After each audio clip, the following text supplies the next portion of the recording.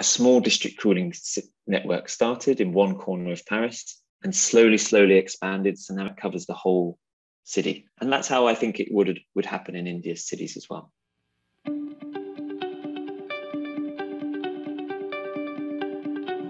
Hello, and welcome to the season two of Understanding the Future. I'm your host Punit Gandhi, and Climate Center for Cities is excited to bring to you a podcast about the future of work in the field of climate change, urban development, sustainability, and innovation. We will talk to experts working on ground as well as in the top management of government and non-governmental organizations to better understand how the field looks like in future. This will help us in preparing to enable climate actions as well as gauge the type of skill sets and jobs that would be required in future to solve complex challenges. If you are listening to it for the first time, do tune into season 1.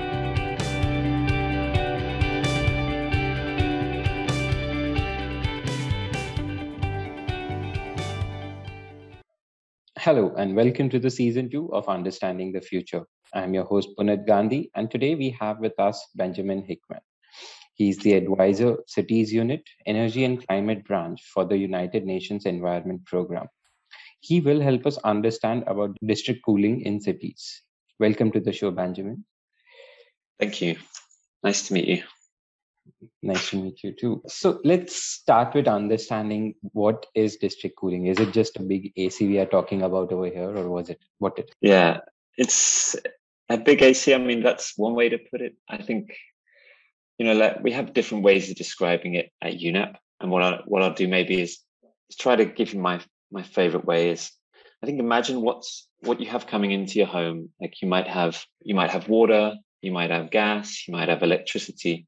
And in many countries around the world, what they also have is either hot water or cold water coming in. And that's all it is at the essence is that rather than producing your own hot water or producing your own cooling, instead it's piped into your building from a central location. Um, what we have is in many cities, they'll have an underground network of pipes with hot water or cold water, um, insulated pipes, and those connect into your building in the basement. And that replaces your air conditioning system or it replaces you know, in colder in colder climates, it will replace your rate your um, electric heaters or heat pumps. And why why do we do that? I guess is it's got a long history. District heating is over 100 years old. Um, and actually, there's evidence the Romans even did district heating back over thousands of years ago. Um, it's basically a more efficient way of, of providing heating and cooling to a building. Um, and obviously, for India, we're much more interested in cooling, although we do we do look at district heating in some of the colder parts. Um, it's mu- it's far more efficient for uh, a building to be supplied with hot water or cold water than for it to produce it itself, and that is just well established in in many parts, many many countries, many cities. That's well established. There are some caveats to that, but in general, that's that's the case. So we produce hot water, cold water centrally, pipe it to buildings, and that replaces your air conditioner. That's the essence of it. Um, yeah. That, that sounds somewhere simple enough, but I think we will get into the technicalities of it at yeah, yeah, of course. stage. Uh, but so, does this change again geographically, uh, this hot water and cold water systems, or do they remain yeah. somewhere similar across continents? But yeah somewhere it would be heating somewhere it would be cooling. Yeah it it does change. Um, i mean the, the essence of the idea doesn't change. And and one thing i'd like to add is that often often when we talk about district cooling uh, and we're piping cold water into your building it's also a service model. Just like you know um, uh, you pay for electricity, you pay for water, you pay for gas, you also pay for cooling. So a part of the district, when we talk about district cooling, it's obviously the technology, but it's also it's a business um, model selling you cooling, and that's quite an important distinction, which I can come to. And what we see in different geographies, uh, there's a lot of diversity, often based on the climate. So if we look into, say, Northern Europe, uh, we have district cooling systems. Some of the biggest in the world are in Europe. but they're often linked with district heating systems that already exist. And it will take, if there's too much heat in the district heating system, it might use that to produce cooling with something called an absorption chiller. And we also see that in Japan and in Korea and in China. Uh, so we see these hybrid systems which provide heating and cooling. There's a there's a lot of opportunities for uh, capturing waste heat in those markets, and also because the climate is slightly colder, a lot of them are also, you know, using seawater that very cold, and using that to provide cooling into the district cooling system. So, uh, one example in Copenhagen, which is quite a cold city, I've been there they can take the fresh freshness, coolness from the sea and use that to provide air conditioning to buildings. That's because the sea is quite cold. so yeah, we have those sort of systems. We also have um, systems such as in Malaysia, uh, where we have there's a system called Cyberjaya, which is just running simply off uh, electric chillers, producing cold water, storing it, and then pumping it around to different buildings. That model is also quite common in the Middle East um, and quite a few projects like that in North America. So yeah, it, you do get a you do get a geographical diversity, but the basic essence of providing cold water to a building rather than it producing it itself is the same. Whereas, yeah, the technology to produce that cold water can change geographically. Okay. yeah. And that's interesting. And uh, so what is what is the size variation that we are looking at? What can be the smallest size and what can be the largest size in this kind of a system then? Yeah. So we actually i think this has sort of changed historically let's say i think there's a lot of emphasis on larger systems previously in district cooling um, you know some of the largest systems in the world such as in dubai huge, huge pipes over one meter in diameter, pumping chilled water through the city. But I think as as the as the concept has matured and it goes also into new markets where it's a very new concept, we're seeing very small systems which might just be connecting you know, two, three buildings together. And why connect two, three buildings? Well, it means instead of each building having their own chiller, their own cooling tower on the roof, they can just share a system. And by sharing that system, it's more cost effective. You actually need less chillers if you're sharing because there's different people, are, different buildings are using cooling at different times. So, yeah, we just to say we have very small projects all the way up to very large projects. Um, and it shouldn't be, it's, it's, it's good to find the middle ground, but it shouldn't be an impediment if you have just, you know, two, three buildings which need cooling to consider this solution. Okay. Uh, and in that case, what what is the case for India like as of now? What are we seeing the development in this sector for the. Indian context? Is it more towards the south or coastal areas, or more towards the central region where there is much more heat, uh, which is again much more drier heat than other parts? Yeah. yeah. So I think, I mean, first to say, I think most of India geographically, except some of the sort of the north, north, northwest. And when I say north, I'm talking into Uttarakhand and these kind of places. They don't necessarily need district cooling because they don't necessarily need air conditioning. Full stop. But um, whether it's a humid coastal place or a dry area like Nagpur, these can all have district cooling installed because they all they all need air conditioning in some form. And what we promote from, from UNEP side is district cooling in combination with measures like building efficiency, passive cooling. So all of these things should be taken together um, because air conditioning should be the last resort. Obviously, if you can have a fan on, keep a fan on. But eventually, if it gets too hot, obviously air conditioning it, it is it is no longer a luxury in some of those places. And in terms of projects in India, we're seeing a slow momentum building with more and more projects coming up.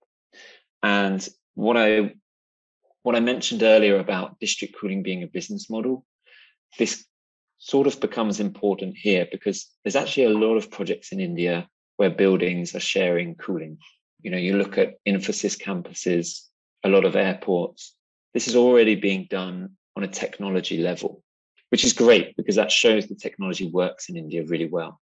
what there are fewer projects of is where it's being sold as a service. So that would be a district cooling operator selling you every month cooling. And there, there's a li- more limited number of projects. There's Gift City, which has been established in Gujarat, which I think is eventually planned to be 180,000 refrigeration tons, which is a big number in district cooling terms. Let's say that your typical air conditioner in your home might only be one, 1.5 tons. So, you know, we're talking over 100,000 of that.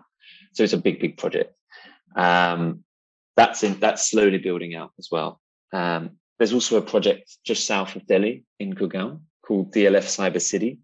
Um, this is a 78,000 ton uh, district cooling system that produces electricity and cold water at the same time using a technology called trigeneration.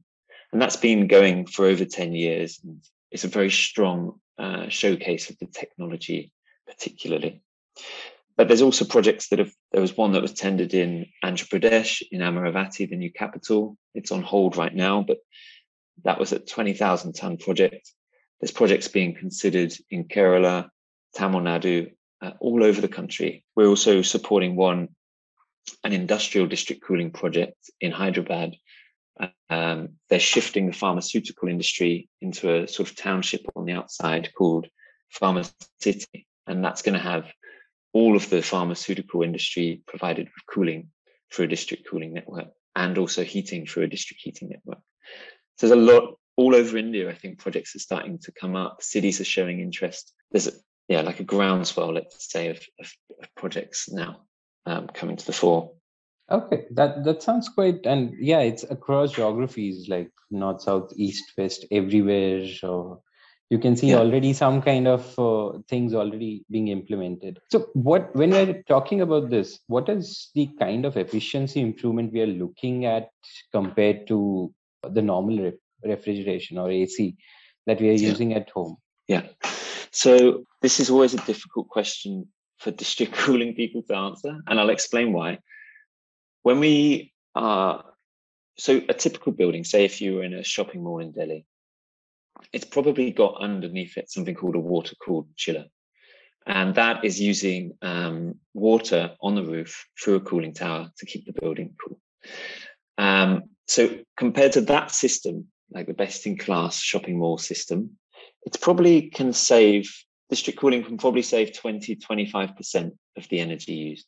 Um, it can also save on cost, and also there are benefits around refrigerants. But when we look at systems that are using air air, air cooled chillers or you know buildings that are just covered in AC units, and you can see those all up the side the facade of the building, there we can start to see see efficiency gains of up to 50%. Because really, um, it's just cooling each individual build, each individual room on a building with its own air conditioner, there is a lot of inefficiencies around that. And also the district cooling, you know, when you go from a, when you, you must know it, when you go from a building which is, each room has got its own air conditioner to one that's centrally cooled, which is what's needed for district cooling, you actually have a better service. So you have ducting, which is also, you know, cleaning the air in the building, is able to better stabilize the temperature. So actually it's it's actually providing a better cooling service anyway. And then on top of that, um, we can we can save energy by providing it centrally and piping it to the building.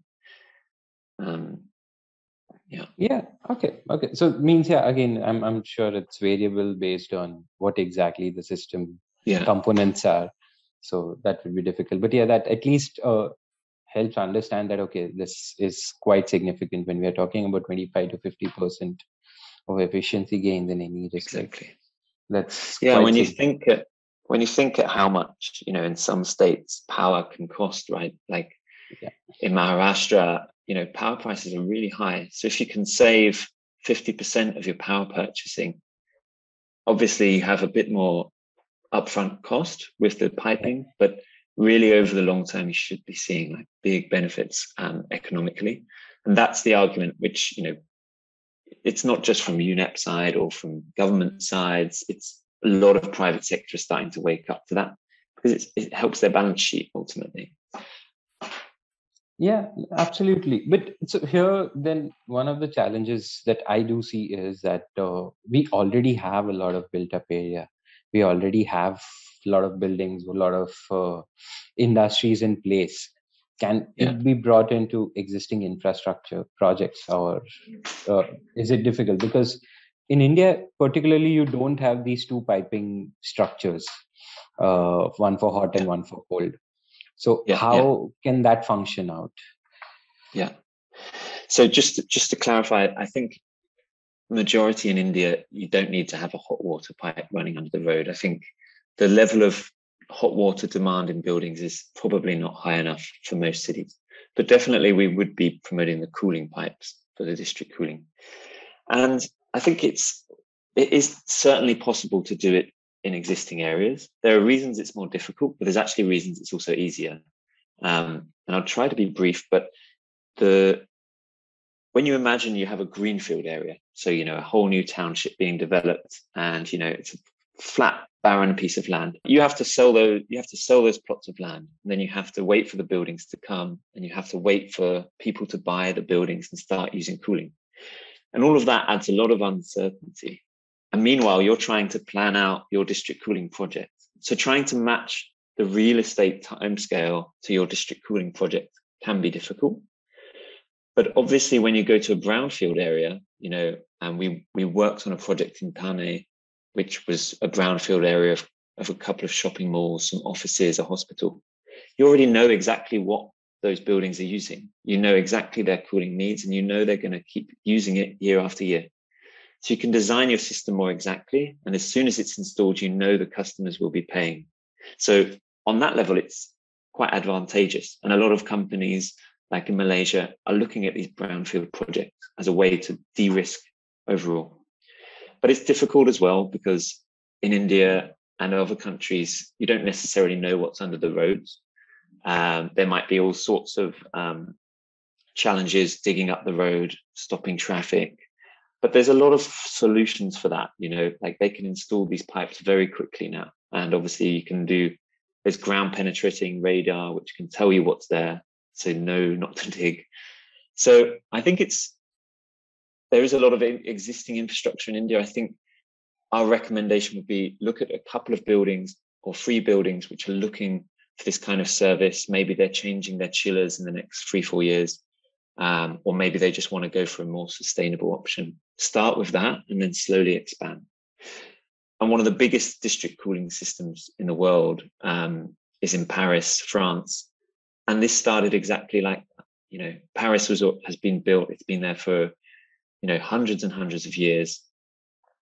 A small district cooling network started in one corner of Paris and slowly, slowly expanded. So now it covers the whole city, and that's how I think it would would happen in India's cities as well. So, so if I can understand that, that makes it yeah. like a more modular system, so that you Absolutely. can keep on increasing it. Yeah, yeah, okay. and that's that's the key best practice after you know this industry's been around for a while, and I think most industry experts would say keeping it modular, starting mm-hmm. small, slowly expanding, it really de-risks the project, and you know make sure you have the customers that are going to be buying it, and you know you can plug in, you can put in different district cooling plants in the city. They can all be connected together, kind of like a spider web going out. Um, yeah and that's that's what happened in Paris. They I think they have five or six different district cooling plants spread out over the city, and they also capture the the cold water from the river and use it to keep okay. the buildings cool, which is kind of interesting. Yeah, yeah, that that absolutely makes it. And yes, if you can actually make a web of these things, it does make sense that okay, it will be much more efficient on a much larger scale put it this way. But here then i think again this might be a stupid question but uh, can then because it's the same amount of cold water coming in everywhere how does temperature modulation happen in each build apartment or uh, every place? So like if my room requires only 26 degrees or you mm, want 22 yeah. degrees in your room how does that differentiation happen yeah.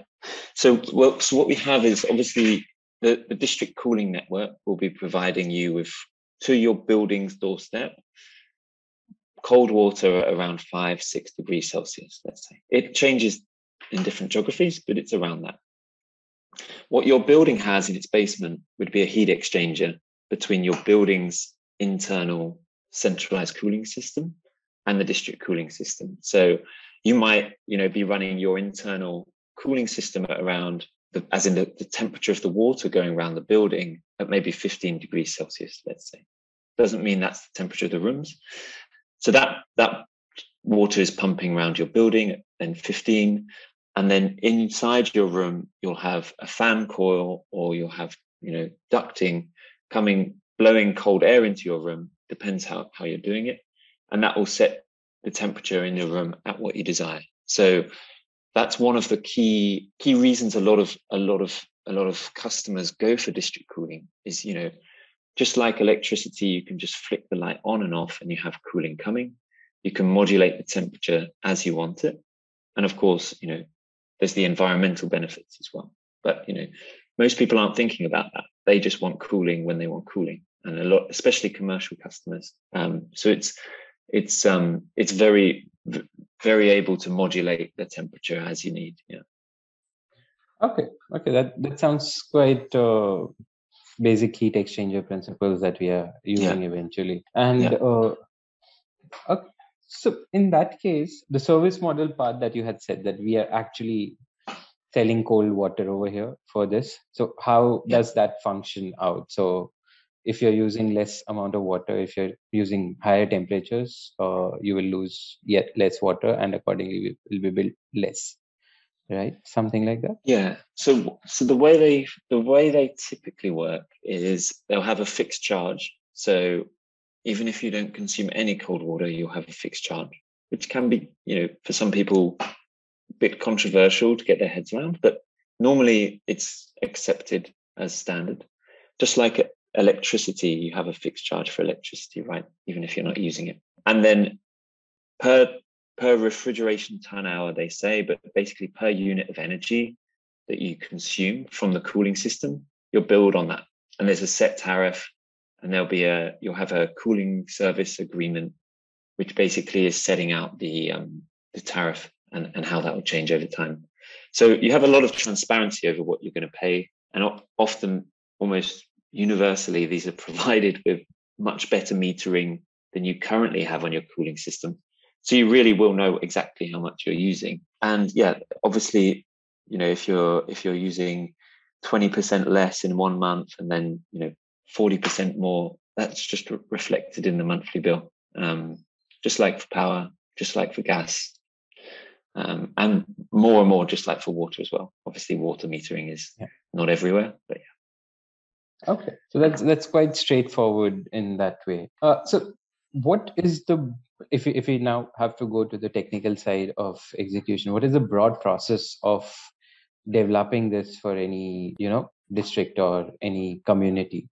What all things are we looking at uh, to be at least be taken into account while developing any of this system? Yeah.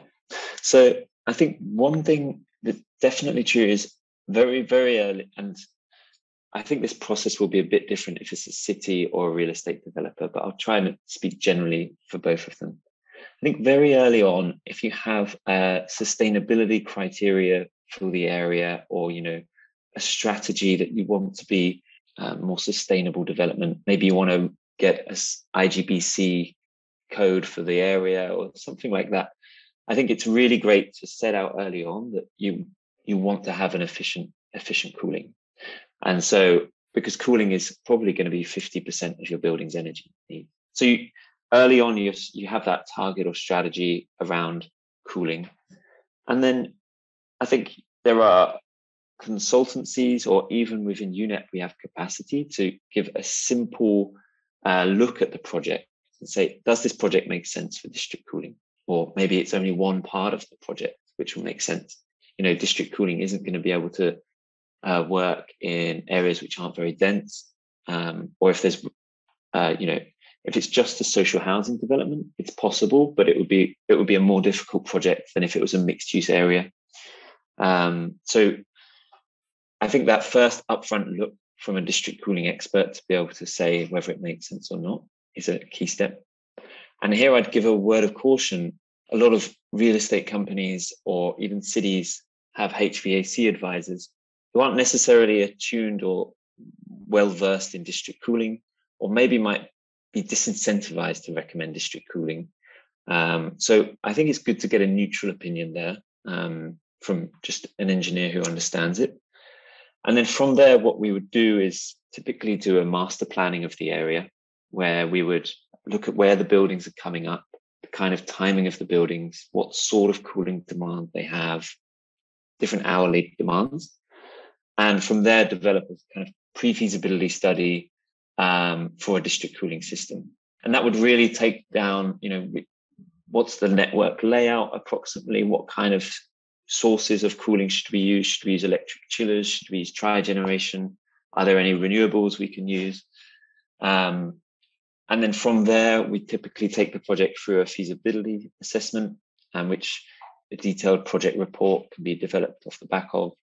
And then, you know, depending if it's a city, they could then go through a tendering process um, for, you know, bringing in private capital into the project, or maybe they want to develop it themselves. It's up to them. Uh, so they might just tender it for a EPC contractor. Um, and then once that that that uh, tender is done and the project is ready to be constructed, then it just goes into a normal um, project construction. And what it will be trying to do if it's a greenfield area is trying to match the development of the real estate. And there's always delays in real estate. You know, a green flagship township might say we're going to be 100% capacity in the next four years. 15 years later, half the buildings are still empty. And so the district cooling operator is taking a risk there, but they'll be trying to develop it in a way which matches that um, as much as possible. And that's why it's also important to have expert district cooling companies at least advising or if you know investing in the project alongside a city or alongside a real estate developer. Because they've most of them have faced those issues over the last 20 years and really understand how to mitigate those risks. Um, but yeah so that's that's the general process. And one other thing i think which is really critical cities can do um, as well as launching that project is also look at the policies they can use to de-risk the whole project. So uh, a lot of examples globally of cities using their planning power to require buildings to connect to the district cooling system. And what that does is de-risks the whole project because we know the building's going to connect. Um, but also you know is is a way for the city to you know ensure buildings are, are, are meeting higher sustainability standards. And their role there would also be convincing the real estate developers that what they're putting in makes sense for them and other things like cities can give land or their land can be used for district cooling plants and they can get an equity share in the project they obviously can give rights of way for the pipes to go under the roads and they can also work to bring different renewable technologies they might they might be already working on. So if they're developing solar, they can look for models where they can provide low cost power to the district cooling system. So lots of ways cities can support. Um, but yeah, that that's the general process. Um, yeah. yeah. and uh, so uh, this this sounds quite interesting because then it's, it's quite because it's a hundred year old technology. Let's put it. Yeah. The process is quite evolved already. The exactly yeah and uh, so so what are so with renewable energy is geothermal also a possibility over here that you can use it and definitely yeah so um there's different types of geothermal as you'll know. So um we have very hot geothermal um and there we can use something called an absorption chiller which will basically take the heat turn it into cooling. So in paris for example there's a geo geothermal um, project which produces heating and cooling. But you also have um, something called geo exchange, which is using the fact that underground is actually often cooler than mm. above ground. Um, and there we can capture that difference using a heat pump um, and actually, you know, provide buildings with, with cold water that way. So diff- different ways. Uh, geothermal we definitely count. Another one uh, we see a lot of is capturing waste heat from, say, power plants or industries and using that to drive absorption chillers rather than just let it you know dissipate into the air Um, that's a really key renewable technology for for um, for uh, district cooling, and also you know if you've got a sea or lake or river nearby, depending on the temperature, we can use it um, either to produce the cold water needed, or at least to help us in the cooling towers to um, to to to use part of that cooling energy in the cooling towers. Um, so many different renewables. Solar thermal as well is one that's been used. Uh, taking the waste heat from waste incinerators rather than letting that go into the atmosphere. I know there's a lot of waste incinerator projects in India. Obviously, they're quite far from developed areas often, but you know, if the district cooling system is large enough, you could justify a pipe going from a waste incinerator waste incinerator 10 kilometers away because you're getting free energy for your district cooling system. So you could cool down a whole city neighborhood just from the waste that it's produced and it's already burning, you know, 10, 15 kilometers distant.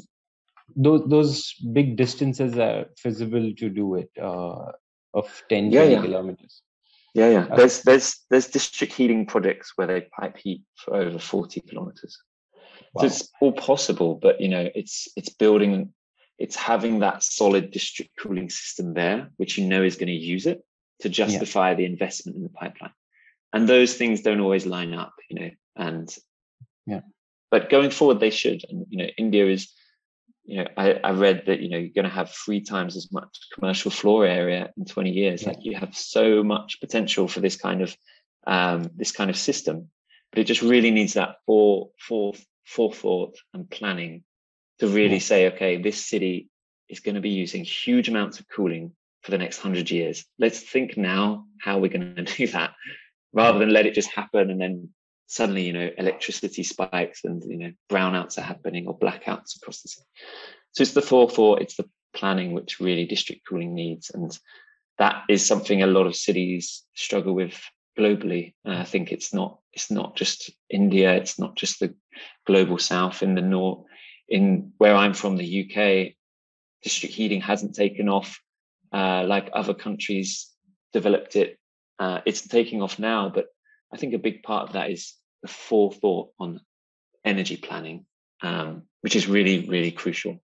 So we're we're we're keen to support cities in India on that kind of uh, forward thinking how are you going to cool your city over the next 50 years how are you going to how are you going to power it um, these are the big questions that lead to those kind of big projects um, absolutely absolutely that's true and i think those questions are very important at this point in junction as well so while you're developing renewable energy resources you also are developing more efficient ways to do every other thing possible yeah. Uh, so what are what are the different challenges that you have found in executing such projects in India as of now? I think one one key challenge, and so we started working in India um, in 2015, I think, and I think one key challenge at the beginning was just people not really knowing about the technology. It was definitely very like you'd walk into a room talking about something which you know no one in the room had maybe heard of, or like very few technical people had, but a lot of policymakers hadn't, hadn't really caught on. Or they thought it was just something, you know, from very developed countries like, you know, the Middle East, Singapore. But it's so breaking, building that knowledge and understanding, breaking some of those myths, you know, there's district cooling projects in many, many different countries like Colombia, Malaysia, Thailand, China, all over the world, there's district cooling projects coming up. It's not just Dubai, you know, which is, you know, a, it's a different kind of development to a lot of Indian cities. So breaking that myth was the big one. I think the pace of real estate in India is quite challenging. I was speaking to one developer around Mumbai who was saying they'll think of a building and then two years later it's built. And these are like huge, huge, huge office towers. Whereas that process in Europe, say, would be like five to 10 years. So that amount of time to, to plan exactly what kind of energy infrastructure you want is, is useful. But that shouldn't be an issue as long as the real estate developer says, this is my timeline for these buildings. And at the same time, I'm, as all the other infrastructure, I'm also going to put cooling pipes under the roads. So it, it shouldn't be an issue. Um, the I think another key one is city capacity. You know, Um, a lot of district cooling projects are, you know, are best are best developed when the city is really involved and is able to help in the planning, is able to help promote them, convince stakeholders. And India cities, obviously, everyone knows, have a capacity challenge. You know, they've got services such as sanitation, public transport, all of these things that they're trying to improve at the same time. And you add on cooling, obviously they really care about their citizens and thermal comfort, etc. But they're probably going to be saying, and I, this happened to us. Why should I care about how a shopping mall is cooling? like when I've got social housing projects I'm trying to develop here, which you know it's like, and it, it's true. Like it's it's a capacity challenge, and obviously cities in more developed countries have got more funds to spend on this kind of project. That's why we're trying to promote models where the district cooling system can actually reimburse kind of the the city's expenditure of capacity of having officials engaged so a lot of projects might have a concession area where they're allowed to operate, but every year could pay a concession fee to the city just to help, you know, keep this so the city has some benefit. And the city can use that on something completely different, or it could invest it into, you know, cool roofs in a slum area or, you know, uh, you know, less developed area of the city. It could use it on many different projects. And that's, I think, something we'd be promoting in India quite hard. Um, so kind of reimbursing the city's time. I think other challenges is a lot of district cooling developed in countries like Northern Europe, also uh, Japan, Korea, readily available supply of gas wasn't so controversial to use gas. So they have gas cogeneration, trigeneration, a lot of systems developed off the back of that. Um, India doesn't have a huge experience of trigeneration. It doesn't have those established gas networks. And of course, now gas is a bit more questionable as a fuel as we look forward to trying to decarbonize the energy system.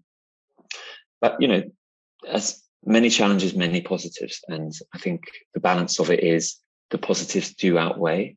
I think almost every city in India should be looking to start at least an initial small project and probably has got some private, private, especially the big metros, will have a lot of private real estate that's already doing it, but just not calling it district cooling. They're just saying, well, we've got four buildings and we just cool them from the same place. no one's called it district cooling, but okay. So I think it's it's it's definitely uh, it's definitely on the way up. Um, we're really uh, when India published their cooling action plan, first country in the world. I think one key thing from it was district cooling was there, which for, for a start we were extremely happy about because it shows the importance. It's also saying in the longer term, district cooling can significantly displace air conditioning. And I think that is that's the point, is that this is a long-term vision. And so to get to that long-term vision, cities can start with three, four buildings and then, you know, test it. How does it work? Does it make money? Is it something we can slowly expand? It's not asking cities, okay, you need to develop your whole district cooling across your whole city because it doesn't work like that. It's a 20, 30 year project of slowly expanding. Um, so that's that, and that's how you overcome those challenges. Basically, you start small grow out. Absolutely, you know that, that it's it's important, and I think that is where the modularity of the system will be helpful because unless and until you can experiment, valid, validate it for the local conditions, and yeah. people have trust in it. I don't think so. Taking up a huge project would be advisable. Otherwise, it might not lead to the returns that we were expecting. I think, I mean, big projects, they do make good returns. It's not that. It's more, yeah. it's, you know, it, it's hugely variable. So, for example, this Hyderabad city, Pharma City project we're working on, you know, that's going to be one of the biggest district cooling projects in Asia if it's developed that is a large project which is going to be economically viable. But you know, a small a small project in a city, uh, especially a tier two city, three four buildings. If you can have more, great. But you know, don't be don't be uh, put off because that's all you've got right now, or you know, and it will slowly expand. So even Rajkot, where we're supporting district cooling into their smart city plan and all of this, the key recommendation is don't put all of the pipe infrastructure down right now let's wait to see what buildings come. You know, the building class might even change from commercial to residential, or who knows. So start in a corner of it, work out, uh, spread out. That would be the key, key recommendation. Um, and and I hope I really hope cities in India pick it up. Um, yeah. That would be amazing. Absolutely true. That's true. And so, what what is the percentage range of price variation we would look at in comparison to the normal cooling over here? Yeah. So it's the the thing is, that i will start slightly back on your question. No one really knows how much they're paying for cooling. Like, how much do you pay Fair for cooling? Enough. Like, okay, uh, so no one knows that. No one knows the answer to that. You might have a rough idea because you're like, maybe it's half my electricity, but then you know yeah, how much you're paying. How much are you paying on the maintenance of your AC? How much did you pay for the AC? Are you saving up to buy the replacement for the AC? And so all of these factors make saying what is your cost of cooling a bit challenging, but obviously we can yeah. do it. We can work it out. And what we find is with district cooling, the projects we've assessed in India anyway, is we should be able to give a sort of 10 to 20% discount on what companies are already paying or buildings are already paying. But there's also vast complexities with that. Different buildings pay different electricity prices, for example. Uh, residential compared to commercial tariffs is hugely different. The district cooling system might try to, you know, subsidize the residential to, to make sure the residential customers connect compared to the commercial. But generally, we should be able to get 10 to 20% at least, I think, in a well designed project once you take all of that into account. And that's, I think, when a district cooling operator goes up to a building, they might ask you, what are you paying for cooling? And then they'll they'll help them calculate, you know, how much did you pay on this tick, on these on your maintenance team over the last five years? How much did you spend on refrigerants? How much did you spend on? And when you add it up, I think uh, people will also be surprised actually um, how much did you spend on it. Yeah, because um, here one of the one of the major things I see as different is that my capex is gone technically. If I'm putting a new yeah.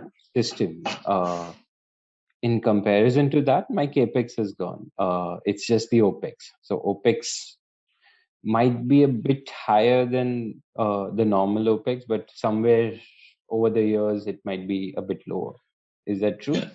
It depends. So sometimes what you have is something called a connection charge where to yeah. connect to the district cooling system they'll make you pay an upfront lump sum which could is basically like capex. And you also have to pay for your you know the internal piping in your in your um, building the heat exchanger different projects, it might be on you to pay for the heat exchanger. So there's some upfront capex. Um, but yeah, it's like um, it is like a, a, service model. You know, you don't have to when you connect to the electricity system, you don't have to pay for the whole electricity system of the city. Yeah. You're paying for like the fact that that that system has already been capitalized over several years, and you know, but you are paying to connect. But you know, it's not like you have to pay for the whole thing. So I think definitely customers like it because obviously they can save money up front. They don't have to put, you know, three whopping great chillers in their basement. They don't have to put cooling towers on their roof. They also can use the basement for something else, like car parking, and the roof for something else, like a garden or, you know, these things. And yeah, they can they they connect and they they can see exactly the return, uh, the the cost saving. For the district cooling operator, it's just like any high capex, uh, low opex model. So they say so.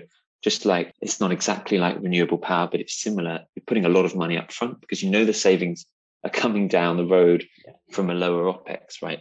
And that's that's that's where a lot of project financing would would would, would uh, be be different, I think, compared to somebody replacing their air conditioner every, you know, yeah. well, six years if if you want to keep on top of the efficiency more like 10 15 years if you know yeah. you, are not. True true.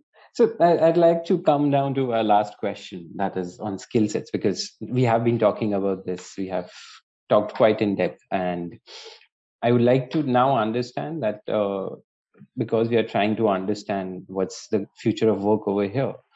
If we want yeah. to bring district cooling to india what all different kinds of skill sets we would require and at a large scale if we want to bring it in what are the different skill sets that would be required to be able to bring this to action?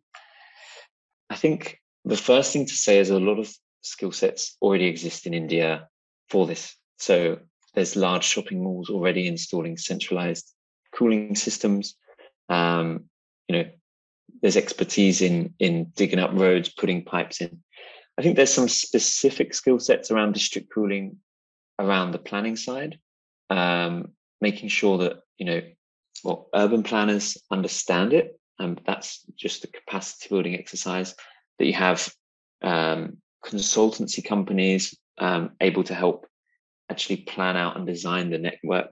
I think that skill set needs to be built up, and so for now, I think it's good to have a hybrid of consult international and local consultancies working on projects. Same on the legal side, same on the same on the financing side. In terms of actually delivery, I think there's some specifics around welding um, and actually welding pipes together, but these are like very easy barriers to overcome. Um, I, I think generally it's not it's not going to be an issue. I think it's something which will just slowly transition into into Indian companies. So we're already seeing Indian companies interested in building up their own district cooling capacity. They might be bringing some international experts in right now, and you know, bringing them to to transfer that knowledge. But a lot of a lot of a lot of countries are in the same boat, building that up um, slowly, bringing international experts in to establish the industry domestically. Um, so yeah, I don't I don't see it as a big big barrier to be honest. Okay, thank you so much. If this was quite interesting conversation, uh, if I've missed out on anything and you would like to cover it up, I think uh, we can do it right now. There's just one other one which I think is interesting because you know a lot of cities in India are also very water stressed, and I know this is a big issue, especially cities like Chennai. There was just one other thing I wanted to mention is I know a lot of cities in India are really water stressed, especially cities like Chennai is that with district cooling, one of the one of the reasons that it's developed, and it's this is one of the reasons it really did well in the Middle East as well, I think, is doesn't need to use potable water for air conditioning. So a lot of water cooled chillers, like I mentioned earlier, they're using drinking water to basically cool down a building, which doesn't make any sense if drinking water is an issue in the city.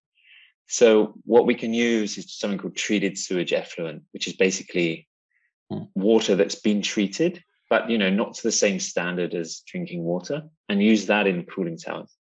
And that's much more easy to do in a centralized location than trying to do that in each individual building. So that's another key benefit i think especially cities in water stressed areas can think about um, as a reason to go for it.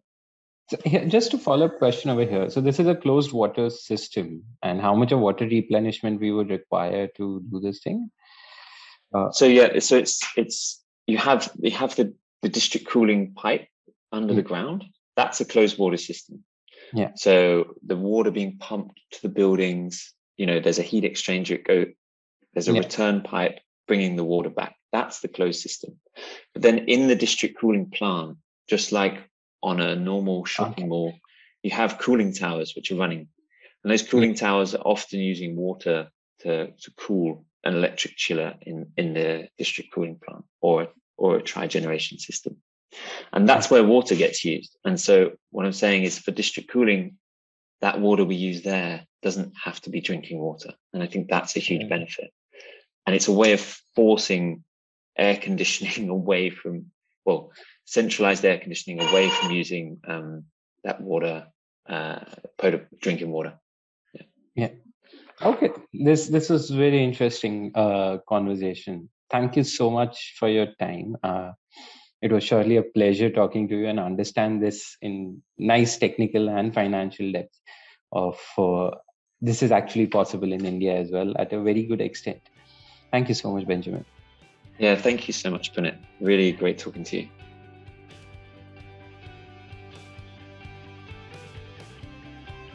You have been listening to Understanding the Future podcast. To know more about Climate Center for Cities, check out our website www.niua.org slash. The show is conceptualized, produced and edited by Punit Gandhi, Senior Associate at C-Cube. You can now subscribe to our podcast on your favorite channel, which can be accessed through the credits. Also, don't forget to follow us on our social media for more updates. Do share your reviews with us and help us spread the podcast to your friends and colleagues. Do write to us if you would be interested in learning about any specific topics. Thank you and stay tuned for our next episode.